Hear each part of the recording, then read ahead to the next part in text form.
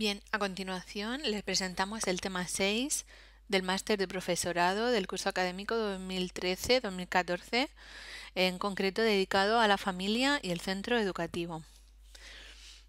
Este tema, como pueden observar, tiene tres puntos principales, siendo dedicado el primero al contexto familiar y su incidencia en la educación y en el rendimiento escolar.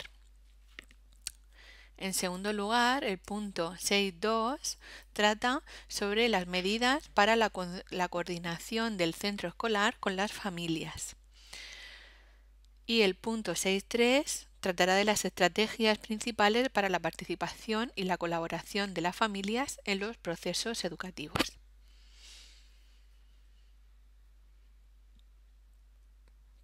En primer lugar, respecto al punto 6.1, el contexto familiar y su incidencia en la educación y en el rendimiento escolar, vamos a hablar eh, ante todo de los antecedentes y eh, de un concepto muy importante que es el de la bondad de ajuste.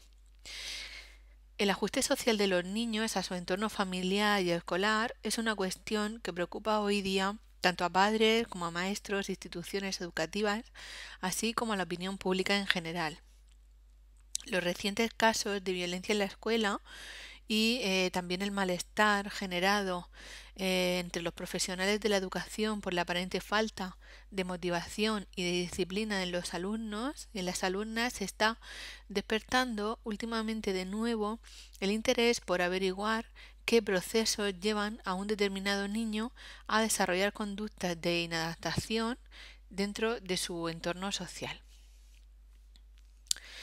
Desde diferentes modelos de desarrollo, por ejemplo el de Bass y Blooming 1984, también de Bronfenberner y Morris del 1998, pues el ajuste de una persona a su entorno es consecuencia de la interacción de un conjunto de variables organímicas y también ambientales.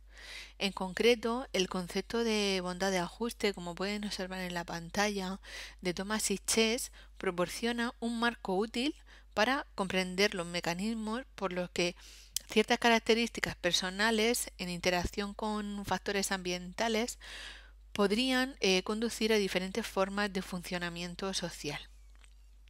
Así, se produce bondad de ajuste cuando el temperamento de una persona, en este caso de, del alumno, y otras características como pueden ser la motivación, el nivel intelectual y otras habilidades, son adecuadas para hacer frente a las sucesivas demandas, expectativas y oportunidades que eh, tiene en el ambiente. Lo cual, eh, esta interacción conduciría a un desarrollo óptimo. En el caso de, que eh, la persona no pueda enfrentarse con éxito a estos retos de su ambiente, se produciría lo que denominamos pobreza de ajuste. Esto conduce a la persona a un funcionamiento desadaptativo de su entorno y a un desarrollo probablemente distorsionado. Dentro del ajuste eh, social de, los niños a su entorno participarían tanto variables de origen organímico como también ambiental.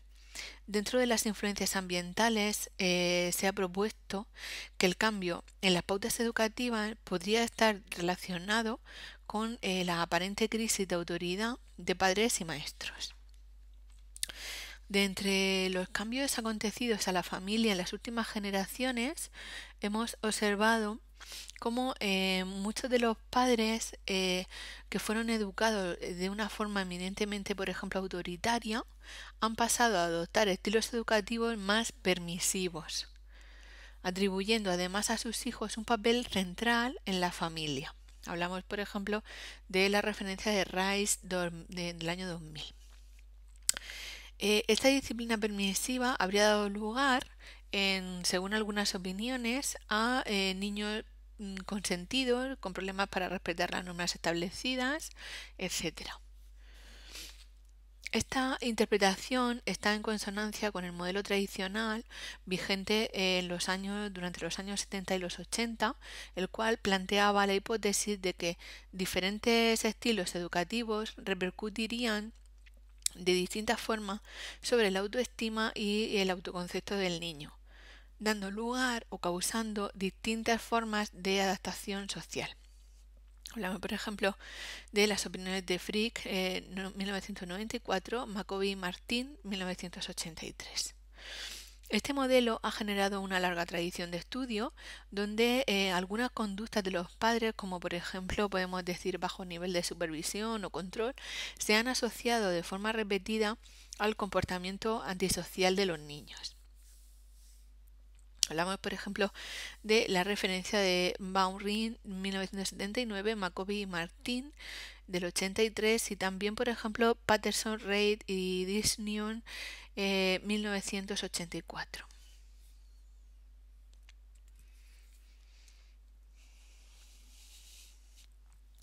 Como ven, eh, le propongo eh, siempre tender hacia una mayor estabilidad familiar como un mecanismo que protege ese, em, esos vínculos de, unión de los padres con los hijos y también que favorece el desarrollo social del mismo.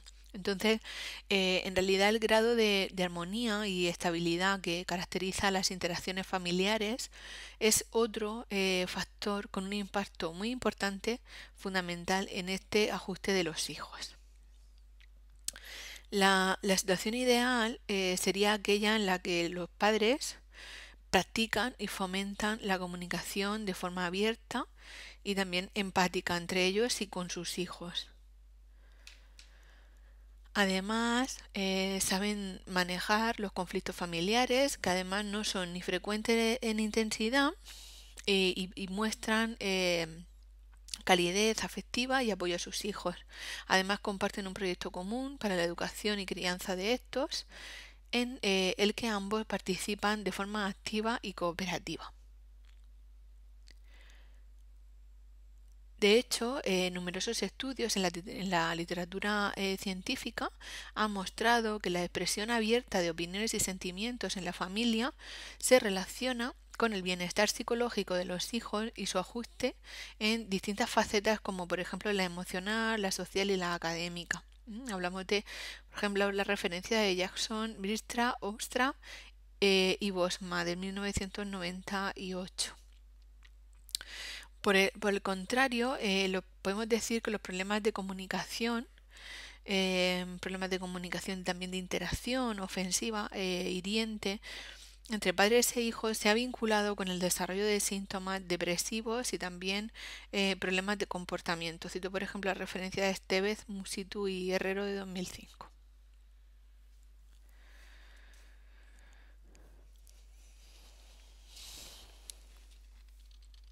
También eh, la, frecuencia de conflictos familiares podría estar en el origen de algunos problemas de ajuste en los hijos, especialmente si eh, los padres mm, se agreden eh, de forma verbal o física, como la dificultad para interiorizar estrategias no violentas de interacción con otras personas, incluso el consumo de sustancias y podemos mencionar el desarrollo de otros problemas de conducta por ejemplo, cito eh, a Formoso, González y Aiken del año 2000. Eh, en el documento tienen algunas otras referencias. No obstante, eh, el conflicto podría no resultar, como les pongo en la transparencia, podría no resultar destructivo en todos los casos. Si, por ejemplo, los padres discrepan y luego se reconcilian mediante la utilización del diálogo y la, y la negociación, pues este patrón podría eh, enseñar a los niños cómo solucionar de, forma positiva desencuentros con sus iguales. Los efectos positivos en el desarrollo de, los hijos que ha mostrado tanto el vínculo afectivo familiar como la consistencia en las prácticas educativas de los padres eh, han sido eh, ya comentados en algunos apartados anteriores de este capítulo. Vamos a mencionar a continuación algunos de los factores que promueven la armonía y la eh, estabilidad eh, familiar. En primer lugar, hablamos de comunicación abierta y empática entre los cónyuges y, y entre estos y también los hijos. En segundo lugar, la resolución efectiva de los conflictos familiares mediante el diálogo y la negociación. En tercer lugar, disciplina familiar consistente y estilo parental eh, se recomienda de socialización democrático. Y en cuarto lugar, un vínculo afectivo entre los miembros de la familia, eh, muestras de cariño y también apoyo mutuo. Estos factores que caracterizan a la familia, donde priman la armonía y la estabilidad, pueden verse también particularmente afectados por ciertas transiciones, tanto normativas, es decir, las esperables en el desarrollo, como no, no normativas. Por ejemplo, el paso de la, de la, infancia a la adolescencia de los hijos, sería una adaptación normativa, o la separación física entre padres e hijos, en el caso, por ejemplo, de divorcios y la creación de un nuevo espacio de convivencia de los hijos con uno solo de los progenitores. Normalmente la madre también puede ser el padre. También podemos mencionar, eh, mencionar el caso de alejamientos provocados por otros motivos, como eh, pueden ser la búsqueda de un empleo eh, en, otra, en, otro lugar, en, en otra localidad.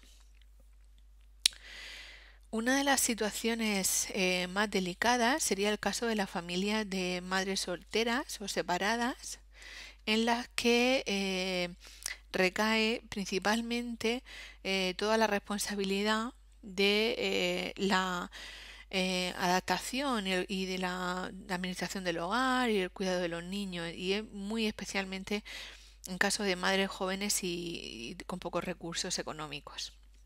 Aunque se ha observado eh, que muchos de, estos hogares podrían, claro que pueden ser armoniosos y estables, es cierto que en algunas ocasiones existen mayores riesgos de que esto eh, no, sea, no sea así por, diversos motivos. La mayoría de, de estas madres cambian frecuentemente de empleo o realizan varios trabajos mal remunerados en ocasiones y pasan mucho tiempo fuera del hogar sin poder atender y supervisar a sus hijos como ellas quisieran. Paralelamente también cambian a, menudo el lugar de residencia, eh, incluso eh, de eh, amistades, etcétera. cito la, referencia de Van Pass Silú del 2000, del año 2000, por ejemplo. Eh, en realidad todos estos cambios son estresantes para la madre y el estrés de la madre por lo general se refleja también en el trato que tiene con, los niños, con los hijos, con las subsiguientes consecuencias negativas en su eh, posterior ajuste psicosocial. De hecho, eh, se ha observado que en las familias con muchos cambios, con demasiados cambios, los niños son más propensos a mostrar, por ejemplo, fracaso escolar, a consumir de forma prematura algunas sustancias y problemas también de conducta eh, delictiva. ¿eh? Cito a, McLanan, eh, Donaway y Haskin del año 2005.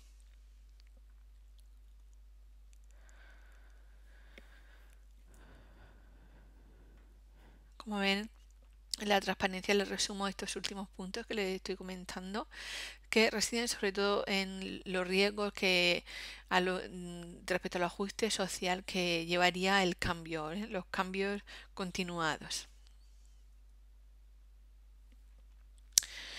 Vamos a ver a continuación algunas de las medidas que se proponen para la coordinación entre el centro escolar y las familias, entre la coordinación del centro con eh, el núcleo familiar.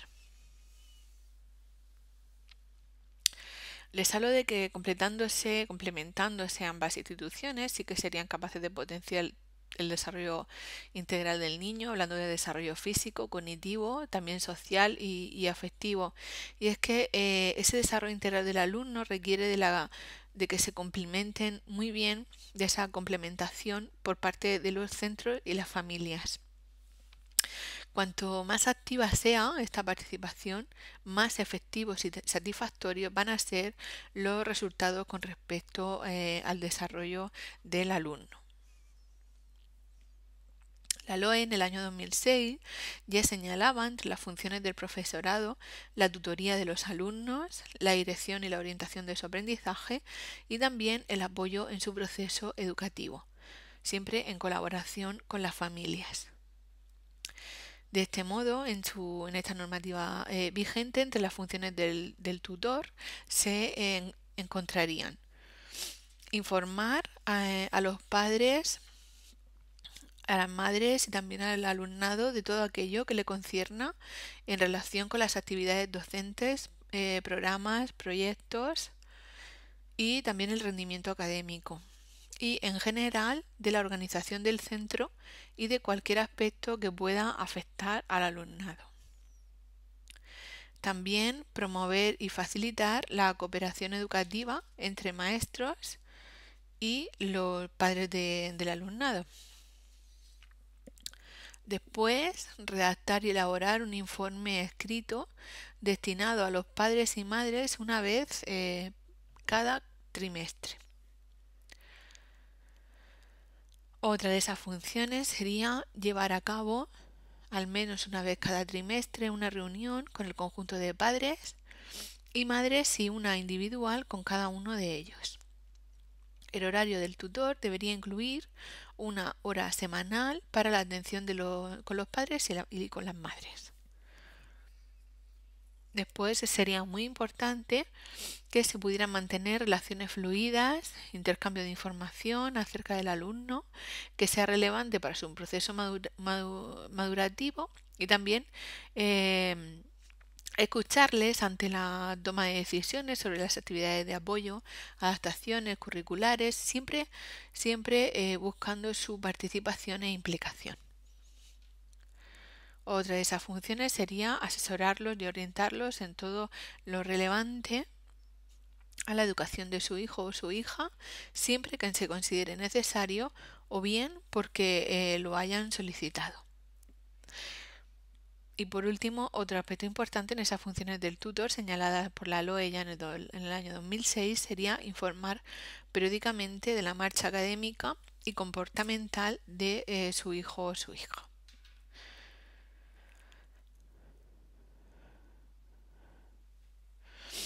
A continuación se presentan algunas de las medidas que facilitan la participación y el encuentro de la comunidad escolar. Una de esas medidas, como ven, es el Consejo Escolar. En este se debate sobre temas que afectan a la organización y funcionamiento de los centros educativos. También tendríamos el AMPA y las tutorías. Eh, reuniones, es decir, hablamos de reuniones entre padres y madres y profesorado.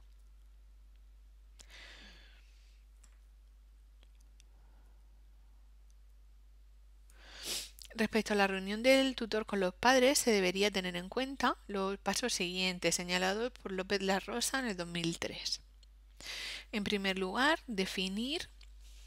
En segundo, acoger a los padres. Y el tercero, buscar siempre entre los dos objetivos comunes.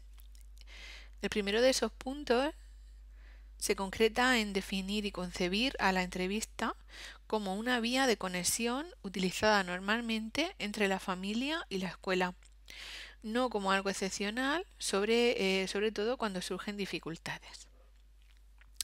El segundo punto de acoger a los padres nos referimos a entender y escuchar el punto de vista de la familia usar siempre eh, el lenguaje de la, de la, familia, se puede ser lingüísticamente accesible y preciso al mismo tiempo, manifestando eh, un interés por los padres y las madres y, por sus hijos.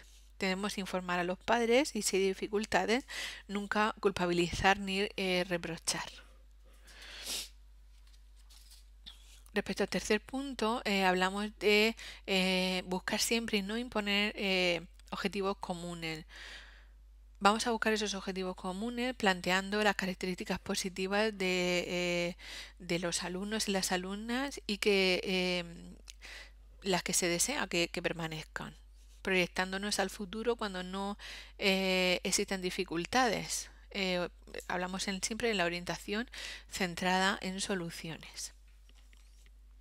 Otras dos medidas que me gustaría señalar, aparte de estas tres principales, sería eh, intentar siempre nuevas soluciones consensuadas entre la familia y el centro. Teniendo en cuenta que el cambio debería ir poco a poco, debería ser progresivo y teniendo igualmente en cuenta eh, lo que ya funciona, tanto los padres como también respecto a otros eh, profesores y profesores. Después tendríamos que fijar cómo se hará el seguimiento. El seguimiento será una parte muy importante del, niño y de la familia. No siempre hará falta recurrir a la entrevista cara a cara. También podemos utilizar otros mecanismos, otras herramientas como por ejemplo el teléfono o el correo. Por último, eh, debemos fijar cómo se hará el seguimiento del niño y de la familia porque eh, no siempre hará falta recurrir a la entrevista cara a cara. Em, y eh, debemos eh, tener muy muy presente esta eh, última eh, último punto de, del seguimiento como algo fundamental porque lo que eh, ocurre en muchísimas ocasiones por eso insisto en este último punto es que se hace la entrevista y olvidamos hacer un seguimiento de la misma, por lo que los padres no se sienten lo protegidos y lo escuchados que deberían por parte del centro educativo.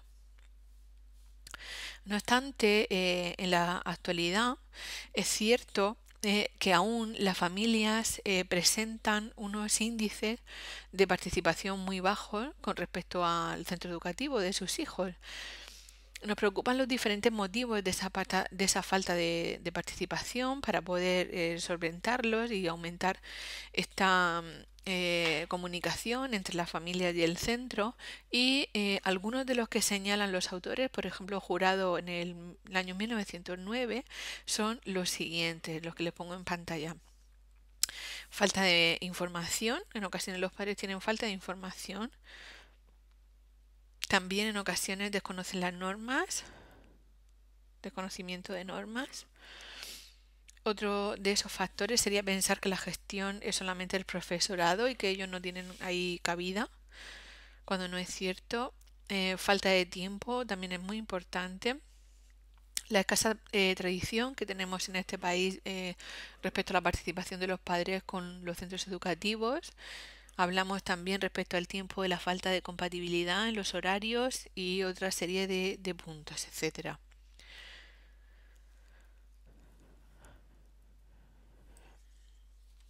Antes de comenzar con el punto siguiente, me gustaría eh, comentar que eh, aunque mm, cada vez sea más común ver que, también hay padres que se acercan al centro, todavía su porcentaje es muy escaso en comparación con, em, con el de las madres. Esto es una reflexión de Martín 2006 que eh, me, me, gustaría considerar preciso señalar. Por otra parte, son muchos los docentes que se quejan de que son precisamente las familias que más necesitarían que participaran porque sus hijos o hijas necesitan mayor atención, las que suelen ser más reticentes, por, eh, más que desde el centro se le, se le inste a, que acudan. Aunque el centro tenga, eh, por tanto, previstos mecanismos de comunicación, es importante eh, señalar que es sin embargo, tanto el profesorado como los equipos directivos los que eh, señalan que la participación de las familias en otros ámbitos del funcionamiento del centro es muy escasa, por ejemplo, en diferentes comisiones, órganos de gobierno, actividades escolares, etcétera. Incluso afirman que la participación ha ido eh, decayendo en estos últimos años. Les dejo en el documento algunas de las frases que eh, recogen algunos trabajos sobre eh, esas opiniones mm, respecto a la participación de, los padres en, los centros y eh, esos análisis que también realizan las propias familias.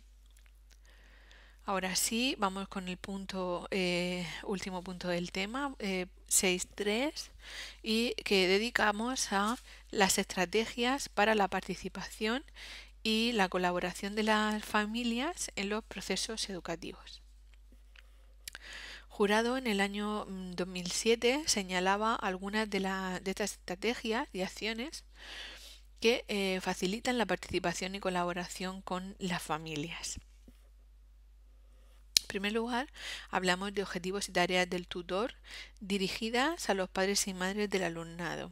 Aquí hablamos de, en primer lugar, procurar y exigir la colaboración de los padres, madres o tutores en relación con el trabajo personal de los hijos. Después, promover entrevistas individuales con los padres cuando ellos lo soliciten o el tutor lo considere oportuno. Estas entrevistas eh, tendrán lugar los días de tutoría destinados para tal fin y en horario de, tutoría, siendo siempre señalado e indicado por el profesor o profesora. Tratar temas formativos de interés para ellos que repercutan en la educación de sus hijos también será un aspecto importante de este primer punto. Después, mantener reuniones con los padres a lo largo del proceso educativo que servirán para intercambiar información y también valorar con ellos la dinámica educativa de los hijos.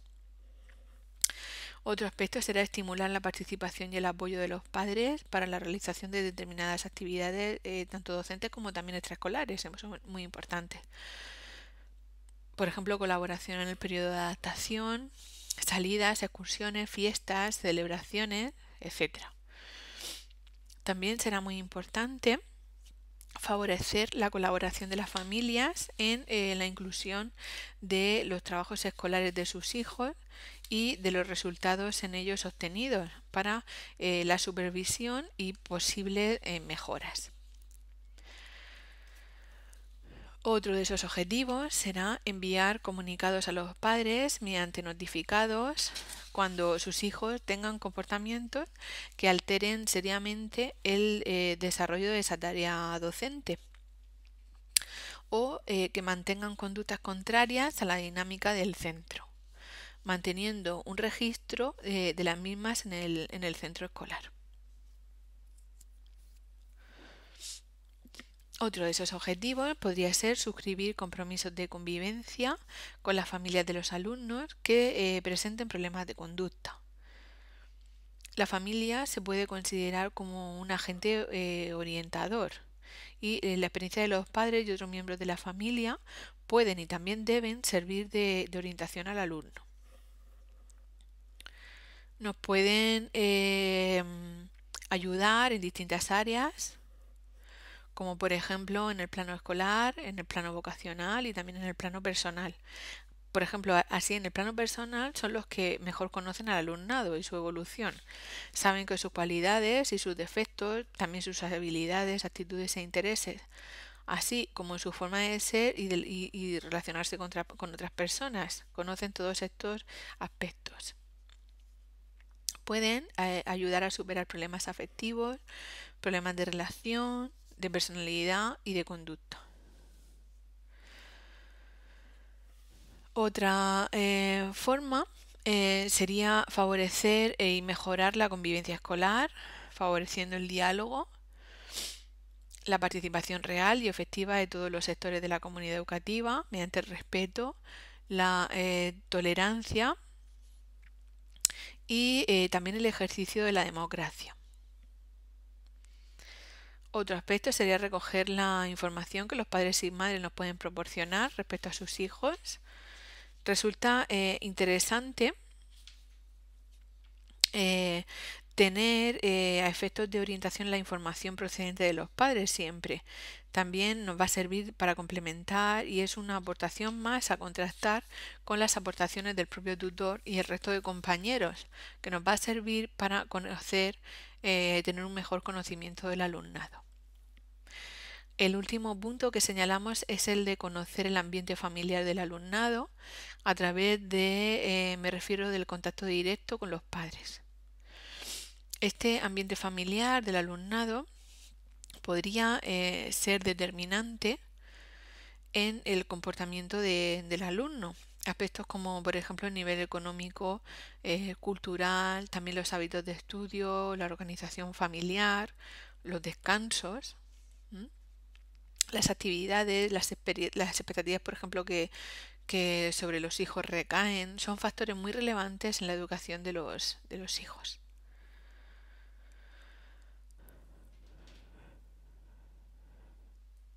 La segunda de, estas estrategias para la participación y la colaboración de las familias en los procesos educativos versa sobre, eh, se concreta en la información a los padres y madres. Se sugiere que a principio de curso se informe a los padres en una reunión sobre los aspectos del centro y eh, del servicio de tutoría.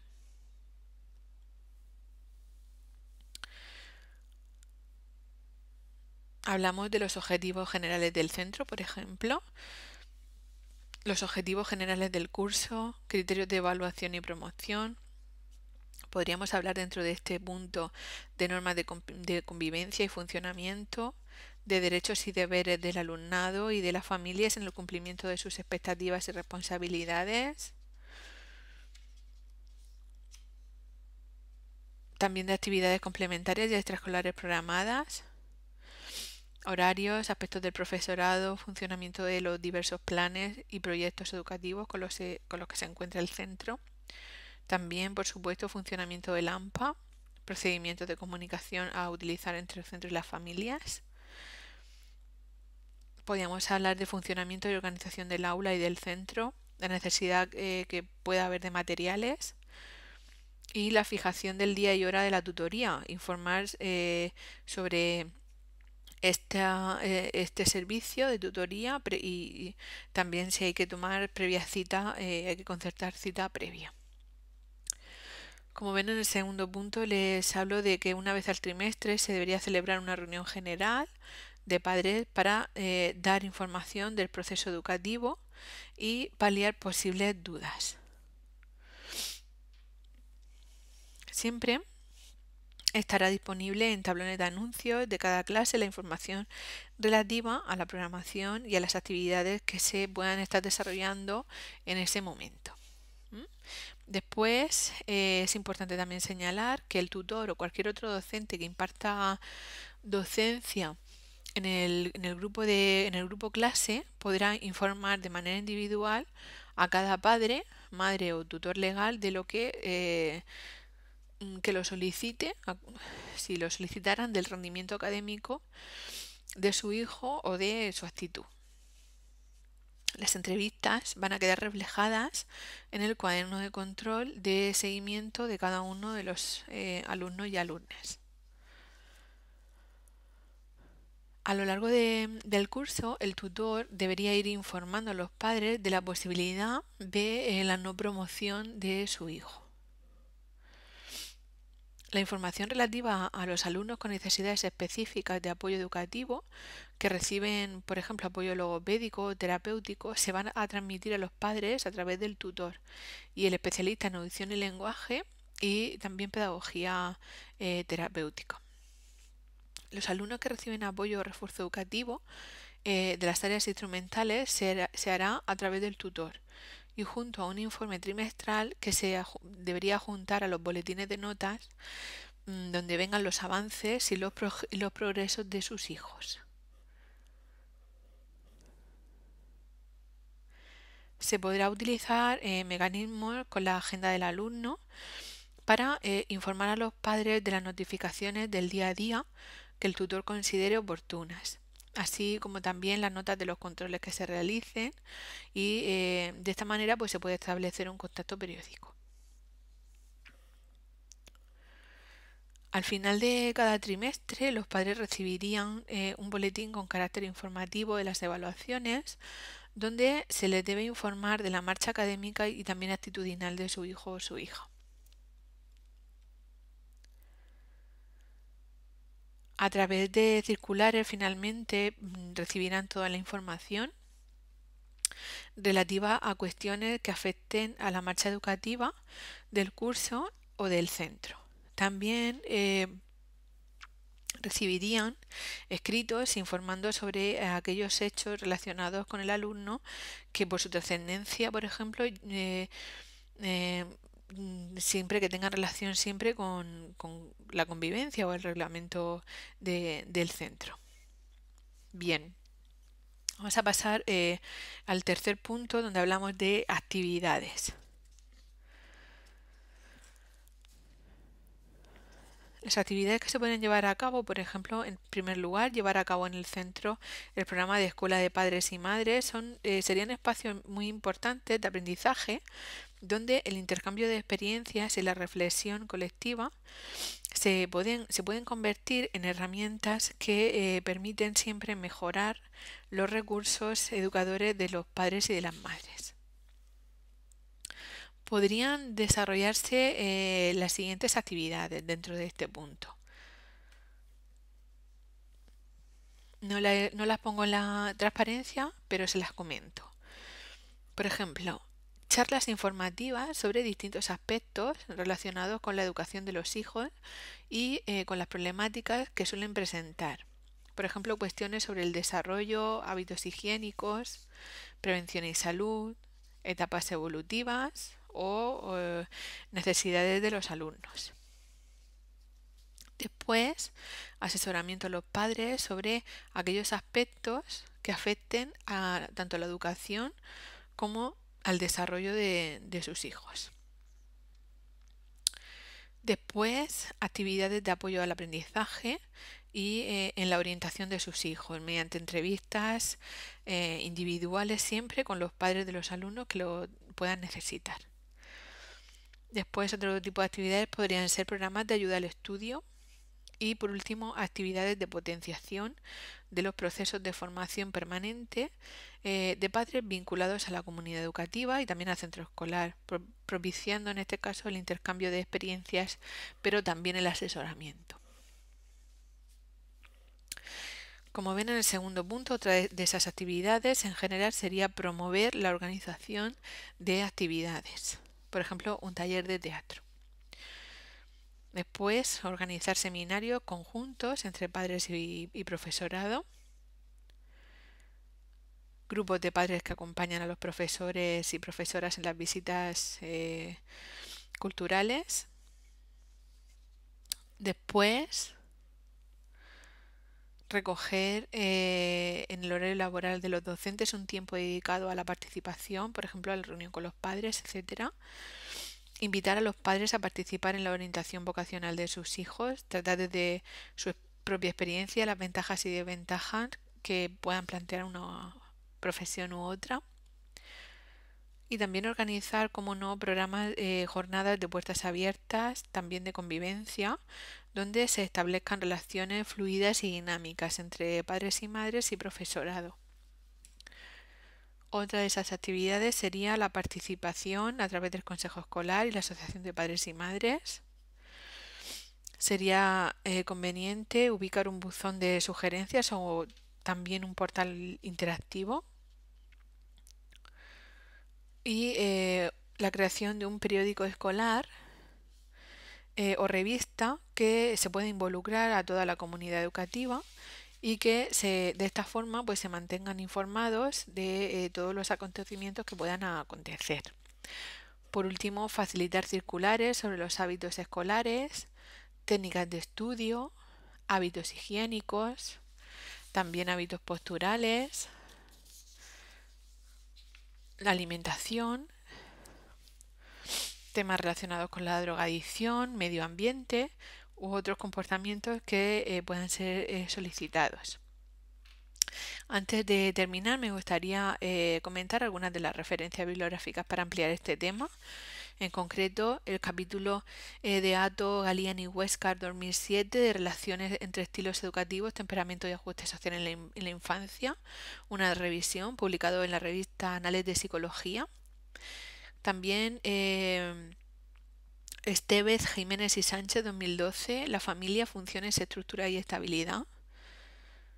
Jurado 2009, Tutoría y acciones para facilitar la comunicación y coordinación con las familias. Innovación eh, y experiencias educativas. Me gustaría señalar también la referencia de López La Rosa 2003, Familia Escuela, para ampliar este tema, trabajando conjuntamente, publicado en la revista galego-portuguesa de Psicología y Educación.